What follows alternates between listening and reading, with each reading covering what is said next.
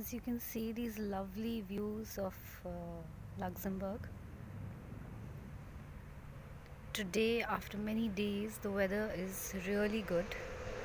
And I am sitting on this bench which is uh, not very far from where I live. And I'm just kind of taking a pause and really trying to absorb this beautiful environment as much as possible because soon the winters are going to begin and uh, it's going to get really cold. So i don't think after a few months sitting like this will really be an option. So just trying to be more in the present and uh, making these little videos as video journals for myself primarily.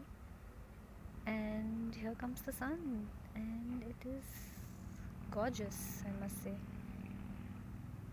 The blue sky the Himmel as blue. That's what they say in Luxembourgish. Something which I have been trying to learn for the past few months. So, yeah, that is good.